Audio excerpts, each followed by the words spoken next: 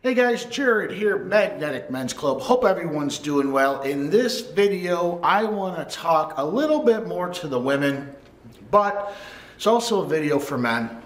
The title of this is Why Women's Body Count, Why Her Sexual History Matters to Men. Now, you may be a man who has had a conversation in the past with women. Maybe you're a woman who's had conversations with their girlfriends, and this concept has come up in the past. I know it's on social media a lot. I know there's a lot of YouTube videos on this subject. I'm going to give you my perspective on why a woman's sexual history matters to a man and a man's sexual history doesn't really matter much to women. The first concept I need you to understand is a woman cares more about a man's future a man cares more about a woman's past. I'm going to use an analogy for women on shoes because you all fucking love shoes, okay? You go into the mall and you see an amazing pair of shoes that you just have to have. And those shoes are worth, you know, I'm going to say those shoes are $200. I don't know how much shoes cost for women. Maybe I'm being cheap. I don't know. They're $200 for these shoes. And they look amazing on you. You look sexy as fuck in those. You can't wait to go out and rock these new shoes. Perfect, great, boom. You buy the shoes. Two weeks later, you see the same exact shoes on sale for 50% off. What goes on in your mind when you see that? You're like, fuck, I'm going back to the store and try to get $100 back.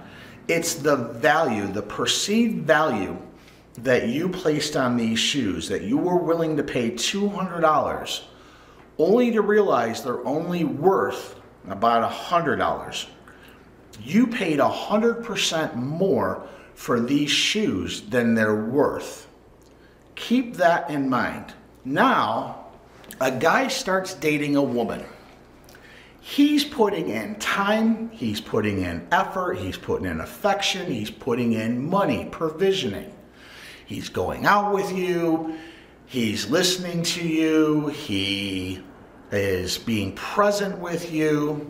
And the dynamic for men and women goes like this a man's biological wiring. We all want to have as much sex as possible with as limited time, effort, and money as possible. Women want men to invest in them. So women want a man to invest as much time, as much effort, and as much money. Once he does that, she gives him sex. That's the relationship. That's how it works. So when a man is investing in a woman, that's how a woman knows that he's a solid guy. He's not just looking just to have sex with me. Of course, he wants to have sex with you, but he's willing to put in this money. He's willing to put in this time. He's willing to listen to your bullshit stories. He's willing to do all of these things. He's willing to put in money. So he's willing to go into a relationship. Great. Perfect. I understand that, Jared. Great. Same concept he's putting in all of this money and then two weeks later he finds out you fuck some guy in the back of the club who bought you one drink. Do you see what happens to a guy's value, the exchange? He put you here on this value exchange. He thought or thinks you're worth X when you just gave it up virtually for free to some other guy. So, the guy that you just gave it up to for a drink or whatever, our minds are she found him more sexually attractive. And so she takes down all her walls. She doesn't care about the time invested. She didn't care about the money invested. She wanted to fuck this guy. So the value the guy thought this girl was just dropped like a stone. This is why a woman's sexual history matters to us. So when we are starting a relationship with a girl and we find out she's banged 300 guys or 200 guys or fuck even 20 guys and she's 30 years old, that's high.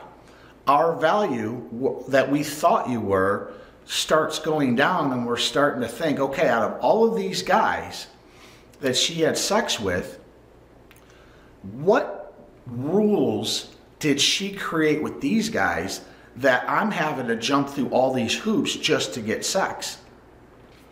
This is how men think. We logically can compare that. All right, she just had sex with this guy in the club for basically free. His value must be really high. Maybe he's good looking, maybe he's a giga chad, who knows? But she gave it up to him with virtually none of the stuff I had to do. So that means his value, her sexual interest in this guy was so high, all of her walls came down and allowed this guy to have sex with her for basically a drink. You're over here investing time, effort, money, your resources to get the same thing sex. Women, this is why when we ask about your sexual past, this is why we we want to think we're putting our effort, our resources, our energy, our money into something that our value, our perceived value is X. When we realize it's Y, this is why we lose interest. I know personally for me, the girls I've dated in the past who I found had very high sexual um, body count, or body counts are very high, I basically just treated it as community property. I mean, at this point, I couldn't take them seriously. And so, women, if you have a checkered past, if you have had free love and this feminist stuff of open sexuality, and you've had a lot of men in your life, and you're older and you're single with no kids, and you're wondering why you can't find somebody, this is the reason why.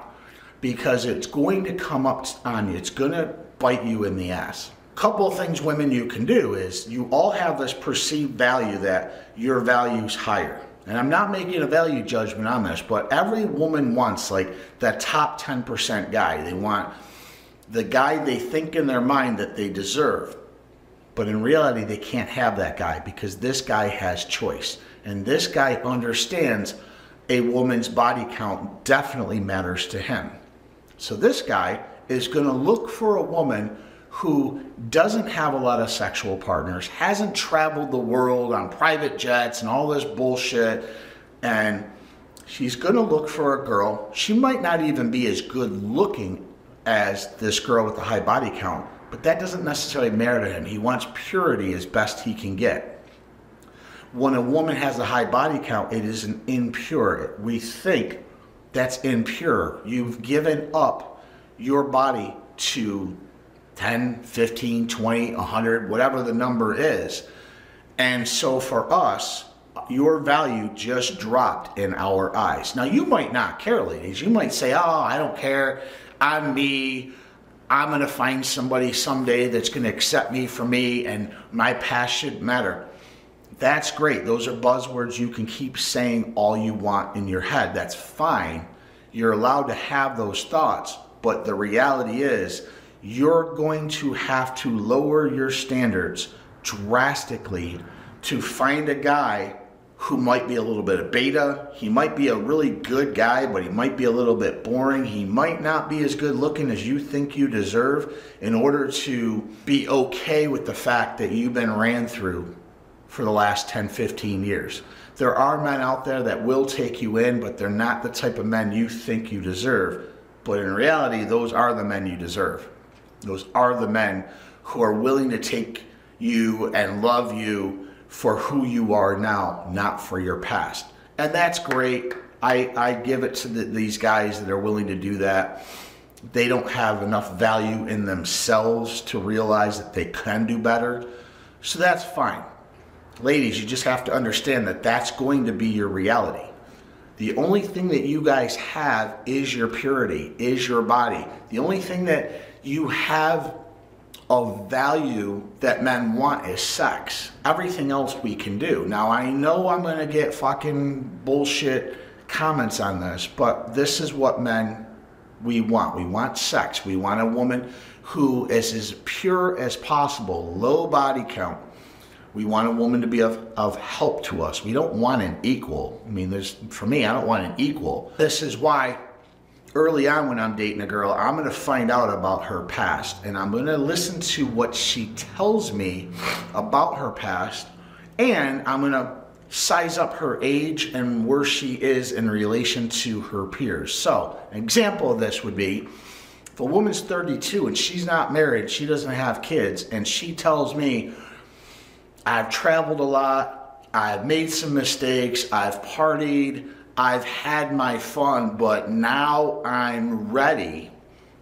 Big sign that she's been ran through. She's probably been doing drugs.